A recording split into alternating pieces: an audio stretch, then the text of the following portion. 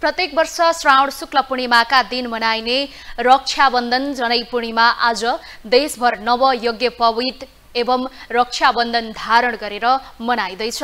पूर्णिमाका दिन बिहानैदेखि वैदिक सनातन धर्मावलम्बीले नदी ताल तलाउ पोखरीमा गई स्नान गरेर गुरु पुरोहितबाट रक्षा सूत्र बाँच्छन् ब्राह्मण क्षेत्री वैश्य गरी तीन वर्णका तागाधारीले आफ्नो जनै फेर्नुपर्ने विधान शास्त्रमा उल्लेख छ। यसका लागि श्रावण शुक्ल चतुर्दशीदेखि कपाल मुण्डन गरी एक छाक मात्र खाएर चोखो गरी बसिन्छ।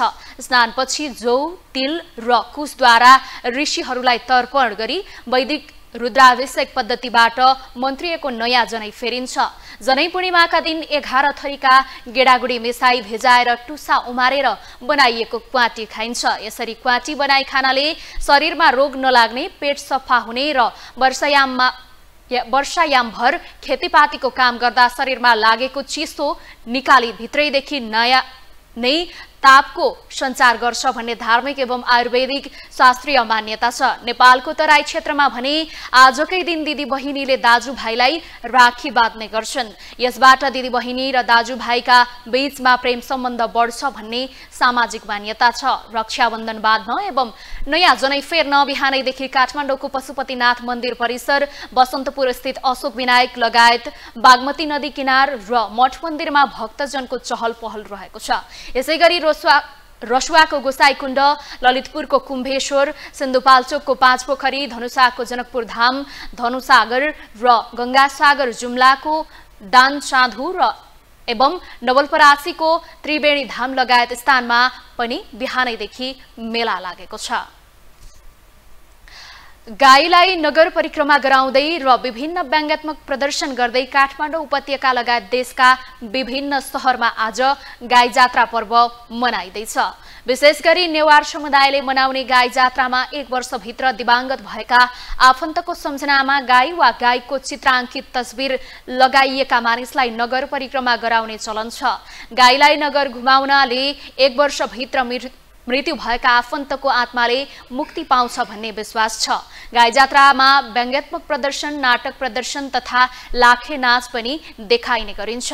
हरेक वर्ष भाद्र कृष्ण प्रतिपदाका दिन मनाउने गाई जात्रा भाद्र कृष्ण अष्टमीका दिनसम्म मनाउने परम्परा छ।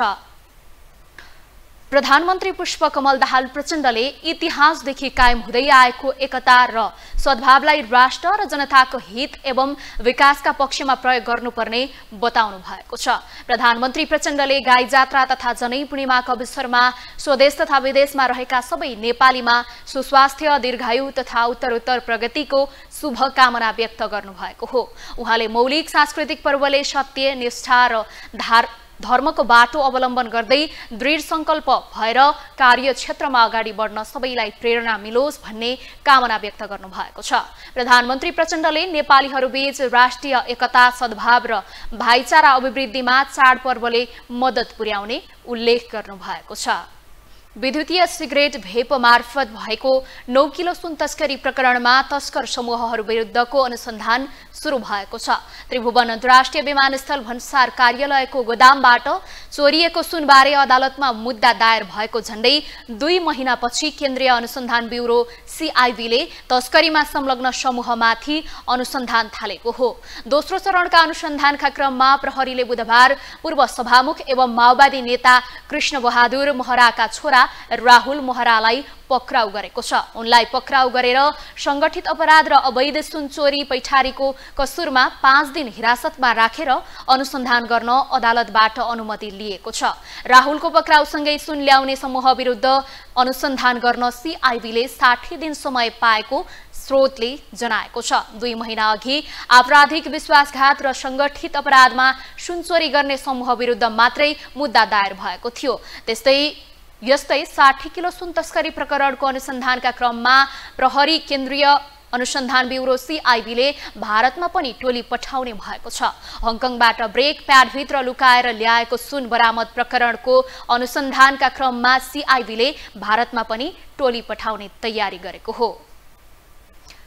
अफ्रिकाको अर्को देश ग्याबोनमा सेनाले कु गरेको छ। मङ्गलबार राति सेनाले सत्ता हातमा लिएको र राष्ट्रपति अल बान्गो ओम्बिडियालाई घरमै नजरबन्दमा राखेको जनाएको छ। बुधबार उच्च श्रेणी अधिकारीले सत्ता नियन्त्रणमा लिएको त्यहाँको टेलिभिजन मार्फत जानकारी गराएका हुन्। राष्ट्रपति बोन्गोलाई परिवारका सदस्य र चिकित्सकहरूसँगै राखिएको बताइएको जनाएको छ। गत अगस्त छब्बिसमा भएको निर्वाचनमा चौसठी वर्षीय बोन्गो तेस्रो कार्यकालका लागि निर्वाचित भएका थिए। निर्वाचनमा उनले चौसठी दशमलव दुई सात प्रतिशत मत प्राप्त गरेको घोषणा गरिएको थियो। सेनाले चुनावी परिमाण रद्द गर्दै अन्तर्राष्ट्रिय सीमा बन्द गरेको र सबै संस्थाहरूलाई विघटन गरेको घोषणा गरेको छ। बोन्गोको परिवार ग्याबोनमा त्रिपन्न वर्षदेखि सत्तामा रहेको छ भने पछिल्लो समय देशमा संस्थागत राजनीतिक आर्थिक तथा सामाजिक सङ्कट देखा परेकाले कु गर्नु परेको सेनाले दावी गरेको छ। सन् दुई हजार अठारमा बोन्गोको स्वास्थ्यमा समस्या आउँदा कुको प्रयास गरिए पनि असफल भएको थियो। मध्य अफ्रिकाको देश ग्याबोन सन् उन्नाइस सय साठीमा फ्रान्सको उपनिवेशबाट स्वतन्त्र भएको हो भने ग्याबोनमा भएको पछिल्लो घटनाप्रति फ्रान्स र फ्रान्स चीन र रुसले चासो व्यक्त गरेका छन्।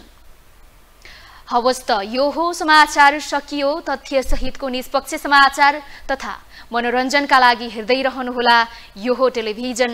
नमस्कार।